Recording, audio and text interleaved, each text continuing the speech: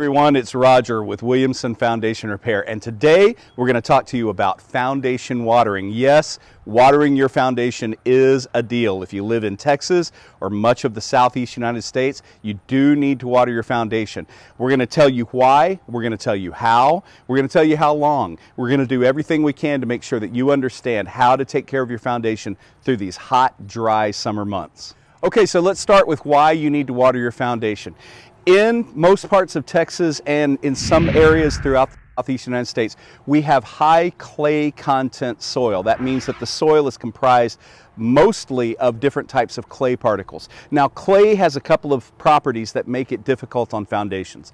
Number one, when clay gets wet, it expands a lot, and when it gets dry, it contracts a lot. But the second feature of clay soil that affects these foundations is that clay does not transmit moisture very rapidly. So right here, when it's raining heavily and this soil is getting really, really wet, the soil about six to eight to 10 feet under the foundation is not so during the rainy time, this soil is swelling and pushing on the edge of the house, but the soil about 10 feet in isn't really changing. In the hot, dry summer, what happens is this soil dries out tremendously and shrinks. The soil 10 feet inside the house doesn't dry as much, doesn't shrink as much. And so what happens is around the perimeter of the house, the soil will actually shrink away where it's not even touching the bottom of the foundation anymore. So what this does is seasonally, year after year, the soil is pushing on the edge of the house, dropping away from the edge of the house, pushing on the edge, dropping away from the edge. It's flexing the foundation slightly, and that gradually weakens it, and that's what creates foundation settlement. That's why we have our problem, and that is why we need to water foundations. So let's talk about how we're going to water the foundation. The type of hose that you're going to want to use if you're doing it yourself is a soaker hose. This looks like a thin black hose, but it's actually porous. Water will ooze out all over this hose. Now there's a couple of things to remember with these hoses. You can run up to 150 feet of this hose in one continuous line. You can connect three 50 footers, a 50 foot and a 100 foot, or 275 feet, but 150 feet is the longest that you want to go in one run. Now, you'll notice inside these hose, the part that screws onto the uh, hose bib, there's a disc with a little hole in it. That is intended to reduce the pressure inside the hose. You can leave the disc on the part that screws onto the hose bib, but if you're connecting two of these hoses together, you want to remove that disc from the additional hoses to open that up as wide as possible. You don't want to bury these. Also, they will deteriorate, they will uh, begin to get brittle, and they will break every couple of years. If they're buried under the ground, you have no idea that the hose is broken, and you're getting water over here, but you're not getting any water over here, and you're getting a whole lot of water right here where the break is. So please don't bury these. I know it's tempting, but don't do it. A lot of people think that you should put the soaker hose right up against the foundation like this. That's actually not correct. When you do that, the soaker hose puts out a lot more water a lot faster than the soil can absorb. So if the hose is right here, a lot of water can work its way under the foundation and be watering back that direction, which can create foundation movement that you don't want. It's almost as bad as not watering at all. We pull these soaker hoses out 8 to 12 inches away from the foundation and uh, lay them out. If you have bushes, usually about the back of the bushes is going to be the correct location.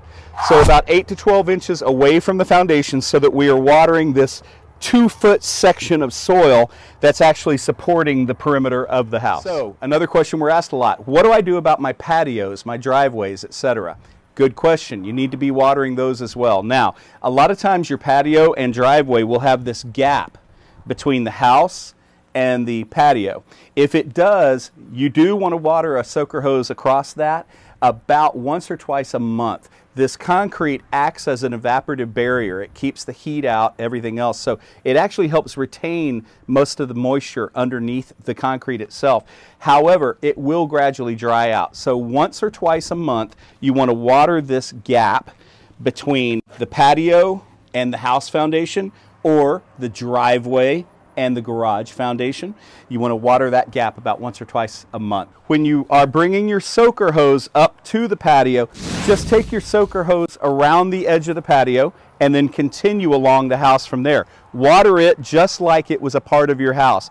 That will long term help keep it from dropping off and cracking. A lot of people complain that when they do put on the soaker hose, you have a lot of water spraying out at the front end of the hose and barely getting any water at the end of the hose.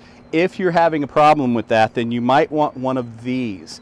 This is a pressure reducer. The water coming out of your house is usually anywhere from 50 to 90 psi, and these hoses aren't really made to work with that. That little blue disc inside the, the uh, hose is actually meant to be a pressure reducer, but it's not that effective. So if you have a lot of water spraying at the front and you're just not getting much water at the end, buy one of these little 25 psi pressure reducers. So you connect this by screwing this onto the faucet side and your hose screws on over here on this side and the hose comes straight out of that. That will reduce the pressure going into the hose and hopefully allow the entire hose to fill with water before it starts spraying out. Give you some even watering. Frequency. The most asked question we get is how often do I water and how long do I water? So if you're watering your yard and taking care of it year round, then you only need to supplement the water of the foundation during the hot, dry summer months. So really from early June through late September is when you need to be watering your foundation. Now, as far as how long to run the soaker hose, you're going to run it between 30 minutes to an hour each time. You want to watch for runoff. If the water is running away from the house, shorten the time a little bit so that we're not losing a lot of water. You want to water about twice a week when our temperatures are averaging in the 80s. If we get up into the 90s, you're going to increase that to three times a week. And if we're in the upper 90s to hundreds, then you are definitely going to water at least three times a week. You can, in those temperatures, actually water every single night and it won't hurt anything. Foundation watering is exempt from watering restrictions in most cities. So even if we go into watering restrictions, please continue to water your foundation. Now, if you need more water, if you see the soil start to pull away from the foundation and create a gap between the dirt and the house, that means it's too dry. That means it needs water.